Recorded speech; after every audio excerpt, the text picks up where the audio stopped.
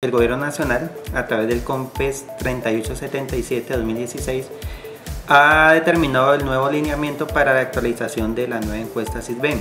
¿Qué quiere decir esto? Que todos los municipios y distritos en Colombia deben de realizar un nuevo SISBEN con una nueva metodología, lo cual consiste en la actualización de datos. Las personas deben de estar atentas al proceso de este barrido que se va a iniciar en el mes de octubre aproximadamente y todos debemos de ser encuestados para que podamos tener la oportunidad de ingresar a los diferentes programas sociales.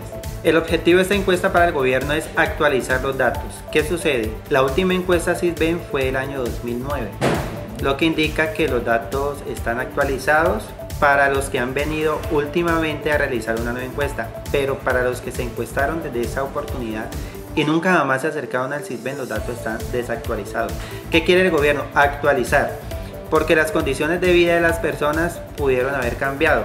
No solamente, digamos, en bienestar, sino que tal vez se han perjudicado a través de los años. Entonces se debe actualizar la información para que las personas que en este momento estén, digamos, en un estado de vulnerabilidad puedan ingresar a los programas sociales, porque quizá en 2009 no lo estaban y viceversa, tal vez personas que hoy están recibiendo un beneficio del Estado tengan una situación económica buena, importante y pues ya no deben de estar recibiendo estos subsidios. Lo que busca el gobierno es actualizar para así poder focalizar el gasto social hacia las personas más vulnerables.